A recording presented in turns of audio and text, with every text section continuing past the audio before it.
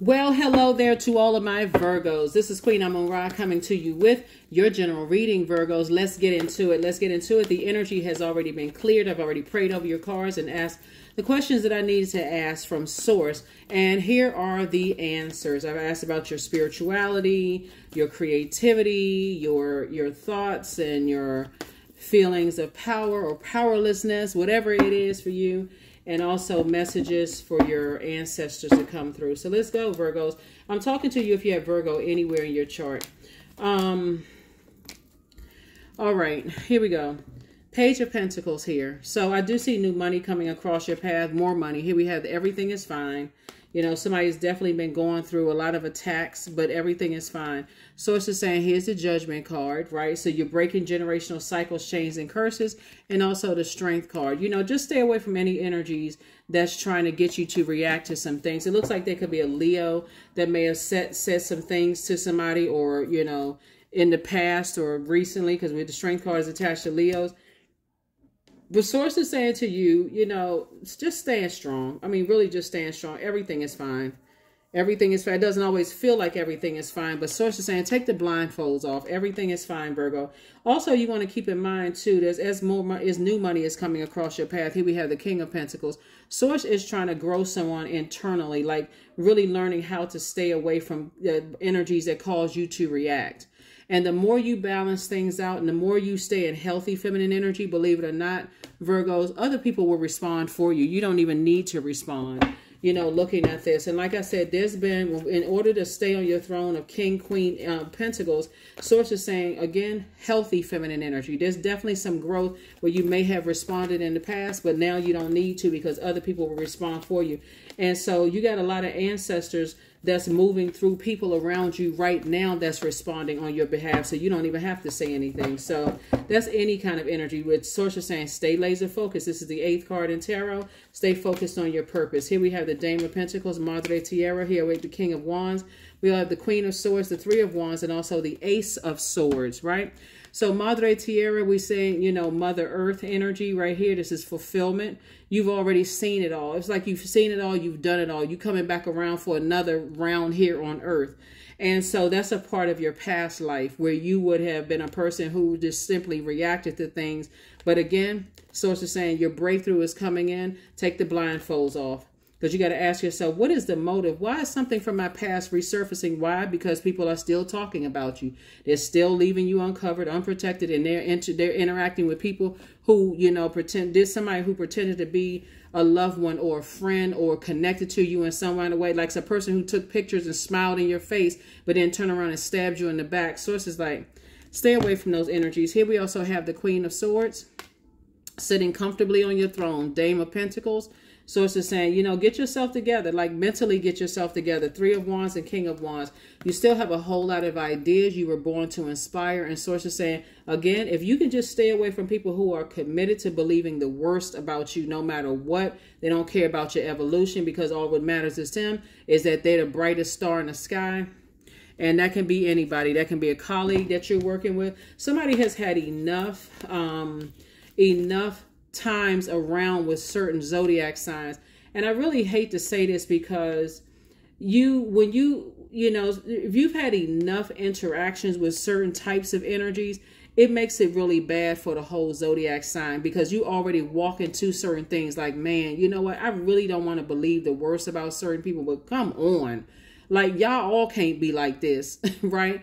And so source is saying the the the way that's going to help you to feel better is to learn that part of yourself. Like here's um this is attached to Saturn and this is attached to Pluto, right?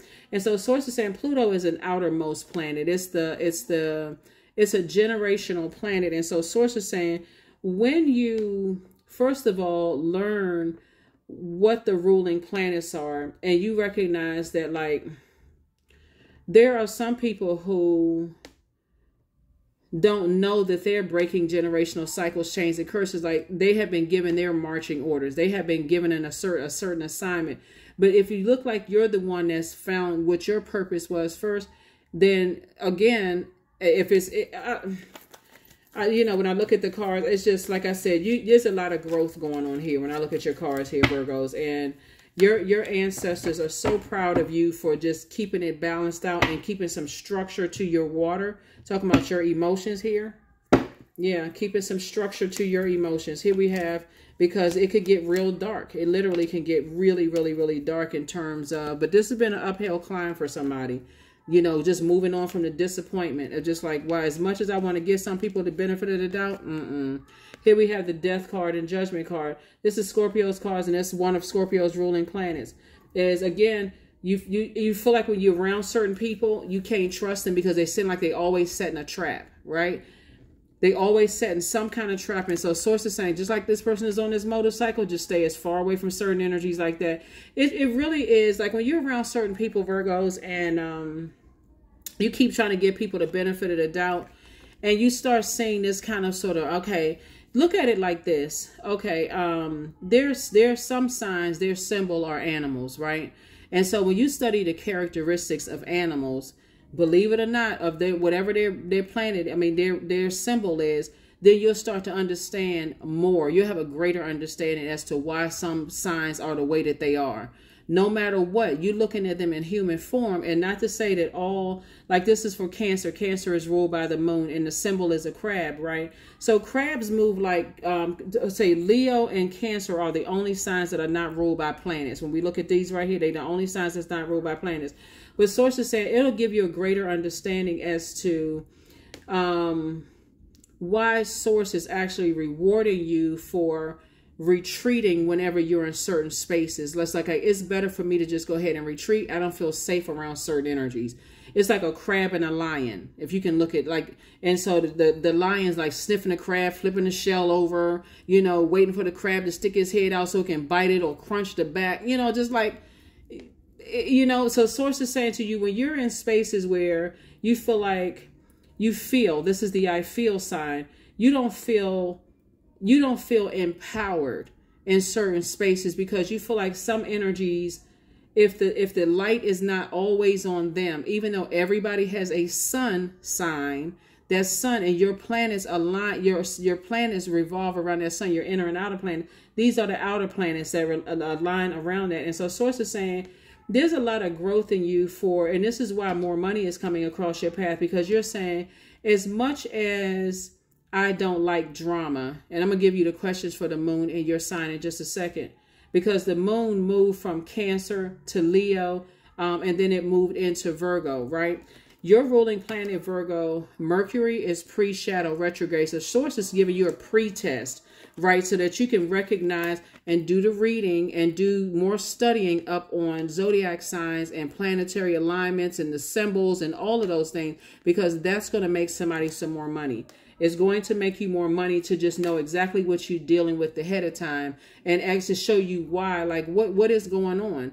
And um, here we have the, the seven of wands here. So I see you being able to defend your decision to move on from certain energies without even coming across as defensive. And I see a soulmate coming across your path if you don't already have one. So here we have three and seven or 10. 10 is the, the number for instant manifestation. And so source is saying, you know what? I have clarity of thought. In other words, okay, so yeah, I have clarity of thought. I'm motivated. Um, I'm staying laser focused. I can I can spiritually um, tap into when I feel some kind of way around certain types of people, and I don't need to sit there and keep going along with the flow until I get blowtorched no i need to get when i when i see when i see people interact with other people i don't need to make sure wait until i'm a victim of something. I need to just get as far away from it as possible. Here we also have the two of cups. And so this is where source is saying i'm sending soulmate energy across your path. As, highly as i speak of all zodiac signs um, that i'm looking at you gotta it really is that you gotta tap into that virgo. You really gotta tap into that part of yourself where you're picking up energy and saying, okay, as many times as I've been around the world, you know, the sun and the moon, we know that the moon illuminates this, I mean, the sun illuminates the moon. As long as I've been going around in circles with certain types of energies, I know, you know what, to steer clear of it. I don't have to say in a negative sense if somebody would like, well, how come you don't want to work with certain people? Or how come you don't want to, you know, so it's like, yeah, I, I, sometimes you just feel like I just had my fill with certain energies. I, I've just had my fill. I gotta, I always feel like I gotta, you know, like I gotta respond to the sarcasm, the, the, the, harsh words, the judgment, the constant comparison. It's just draining after a while. It's just absolutely just draining, you know, after a while. So whoever it is, I don't know who had a, a run-in with a Cancer or a Leo, but somebody is just like, okay, I just feel like I need to stay away from certain energies altogether. And you could have Cancer and Leo in your birth chart, but source is saying somebody feels like they just need to stay away from certain people altogether. Just like, okay, when I when every time I think about interacting with certain energies, the you know, the warming up to people at first and then going in to strike when you find out somebody's, you know, weakness is like what you like you dealing with a wild animal. So source is saying it's best for you to just stay away from it and then they're traveling in packs. I got to get everybody on my side to talk negatively about a person. I don't even want to be associated. That's what you're saying. I don't even want to be associated with it. So source is saying the only person that can save you from that situation really is you because you have enough wisdom and knowledge at this point. This is the King of Cups. We also have the Nine of Cups. Source is saying put together your list of wish fulfillment. So when you're thinking about being around, you know, any of the signs that you're seeing, Scorpio, um uh because somebody at this i'm looking at the card. Somebody feels like when they deal with leos so we're crystal clear that it's always a setup. It's always a bait and switch. That's what somebody is saying here looking at the cards here. And somebody says i've been around the world. This is about fulfillment. I feel like i fulfilled my time with certain types of energy because this is a, this is card this card right here is attached to uh, saturn right um, and the world card. I've been around the world with certain types of energies. I already know what I'm dealing with. And guess what? You are well within your right to feel however you feel. So here we have the 10 of um, the 10 of cups and also the four of cups.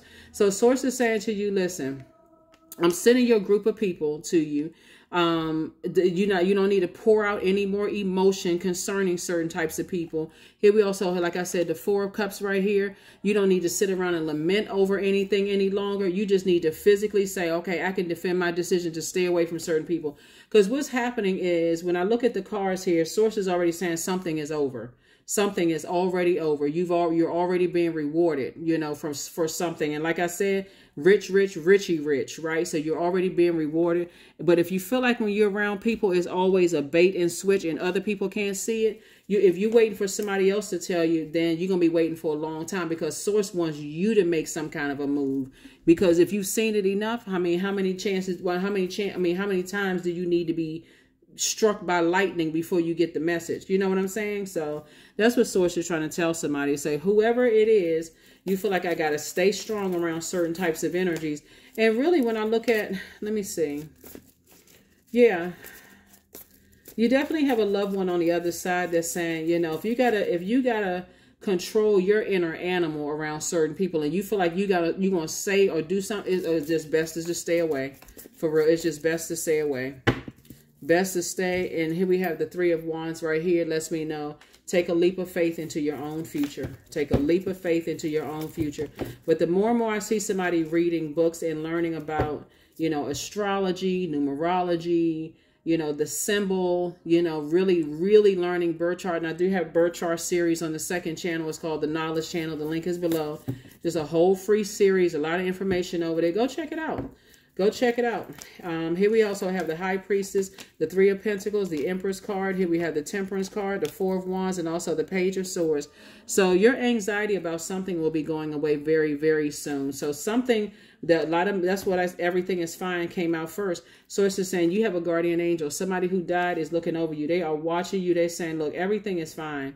I know you're you're super sensitive to everything right now, but you're dealing with some energies who feel like they're just they're green with envy. They have that spirit. They like disrupting people's peace. You you dealing with something a different type of different type of.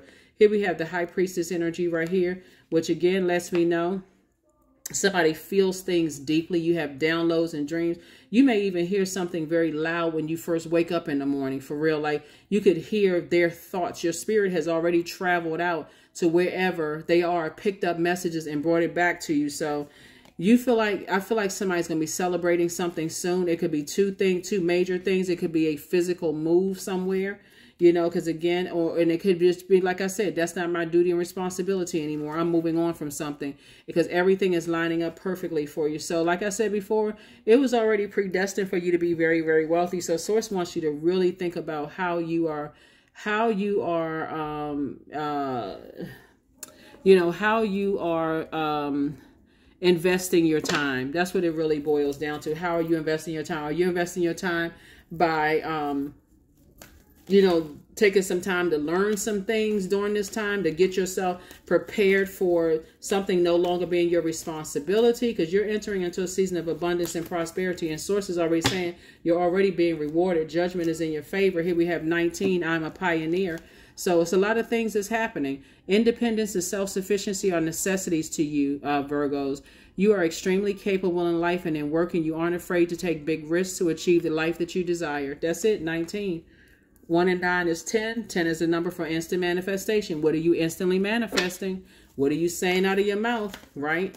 Um, even though we had a full moon in um, uh, uh, Gemini, the moon is about to start moving. When you watch this, it'll be moving from Leo into Virgo. So here we have affirmations for confidence. I matter, period. I am kind. I act in spite of fear. I keep the promises I make to myself. My, my voice matters. Someone needs to hear it. My tribe wants to see me succeed. I allow doubt to float away with ease. That's right. So maybe, maybe, you know, saying some, um, affirmations to yourself is really, really going to help you. But here are the questions for the moon and Virgo. First question is Are you ready to define what you no longer need or want with a practical and an objective eye? Second question is Can you define what's yours to fix and what's not in your life? Third question is Do you feel any fear around being fully self sufficient and independent? Fourth question is How could you learn more from nature? And then last but not least is Could you share your free time and your energy in a valuable and charitable way? Those are things that you should you can be thinking about right now as you are moving towards the King of Pentacles. And again, I know you all are really not a money hungry zodiac sign, so I know this wealth is a massive a wealth. This massive wealth here is really about um, how can you help change other people's lives in a very creative way? Because there's a lot of water here, a lot of air here. Obviously, Virgos are extremely intelligent, and it's really just like how how many hours of a day or minutes in a day or moments are you spending on you know, like, you know, kind of sort of not wanting to get out of bed and just like, okay, I'm, I'm hanging on the faith. I feel strong, but messages are coming through so strong right now. I can't, I can barely focus and can barely think. So it's just saying replace all those negative energies with something positive. All those negative thoughts are positive. Look in that mirror, replace those negative thoughts. Tell yourself what you see yourself on the other side. See yourself celebrating. I see myself celebrating in front of my new home. I see myself celebrating outside my new job. I see myself that's no longer my response, my duty and responsibility anymore. I've already detached. I've done cord cutting ceremonies away from certain people, whether it's your work and at home or whatever it is. Two situations no longer your responsibilities because I feel like somebody is relocating, and I feel like somebody is saying not only is that old place that I used to live in, whatever the old address is, that's a part of my past life. That city, I'm moving away from that. And whatever it is that you're moving on from, that job, I'm graduating from school, something is no longer my responsibility, the heaviness of it. And I'm moving into a new phase in my life. So, congratulations to you all, Virgos. You deserve it. You absolutely deserve it. So, that's what I have for you. I will see you all on uh, um, on uh, Motivational Monday. Bye.